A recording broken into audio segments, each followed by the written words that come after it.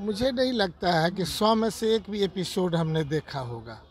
इसलिए कि इसकी आवश्यकता हम नहीं समझते हैं। जिस दिन मन की बात में, निन्यानवे एपिसोड में बिहार राज्य के विशेष दर्जा की बात हो जाती स्पेशल इकोनॉमिक जोन्स की बात हो जाती मनरेगा का जो मजदूरी है बिहार में सबसे कम है वो ज़्यादा बढ़ाने की बात हो जाती तो हमें अच्छा लगता। नमस्कार आप देख रहे हैं न्यूज़ फोर नेशन। मैं आपके साथ अभिजीत सिंह। हमारे साथ बात करने के लिए बिहार सरकार के मंत्री समीर महासेठ है। सर आज नरेंद्र मोदी का मन की बात का सौवा एपिसोड है। इसको आप किस रूप में देख रहे हैं?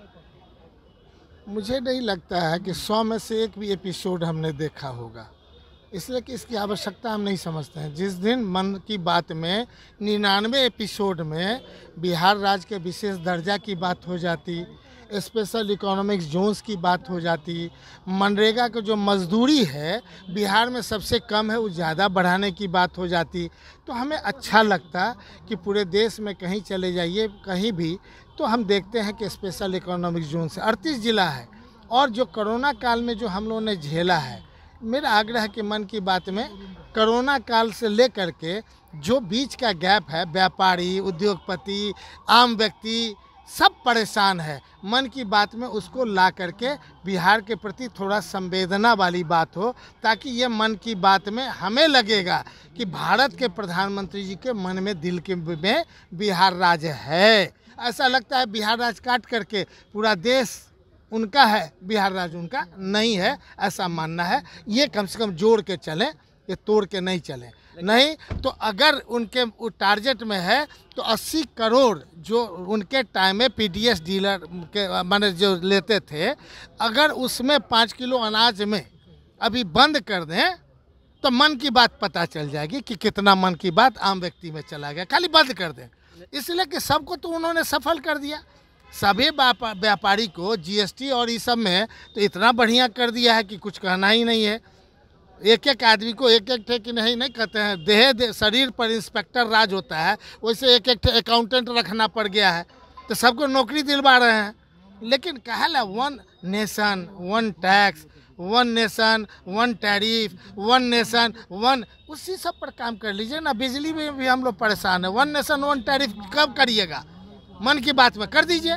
हम समझ जाएँ कि one nation one tariff Sameer Mahaseth उद्योग मंत्री बोल रहा है आप उसको करके दिखाएँ। लेकिन भारतीय जनता पार्टी के नेताओं का कहना है कि नरेंद्र मोदी जो मन की बात करते हैं वो डायरेक्ट जनता से संवाद करते हैं।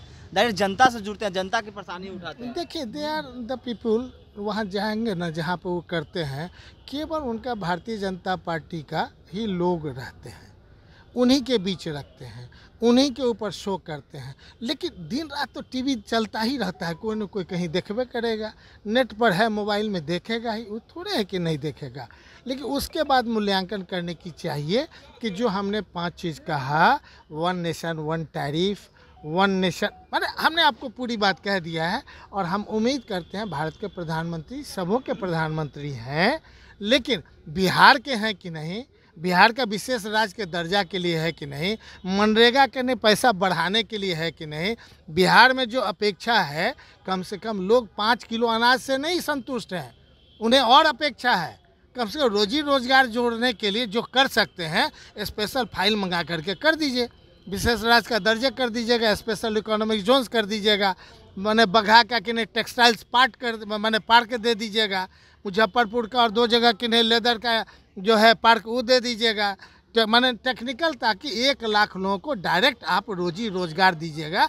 तब आप कहिएगा कि मन की बात में बिहार के लोगों का, युवा वर्ग को, इतने लोगों को नौकरी दिए, रोजी रोज़गार दिए। हम वो चाहते हैं भारत के प्रधानमंत्री से सुनना। अगले मन की बात में। धन्यवाद।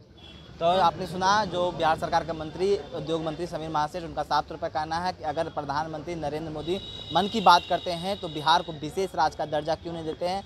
हम तो मांग करते हैं कि वन टैरिफ, वन नेशन की बात करते हैं तो वो क्यों नहीं? मन की बात में प्रधानमंत्री नरेंद्र मोदी करते हैं। हम तो चाहेंगे कि अगले एपिसोड में मन की बात में नरेंद्र मोदी, ये सब जो हमने बोला है, वो बिहार के लिए दें। अच्छा तमाम खबरों बने रहे न्यूज़ फोनेशन के साथ। नमस्कार।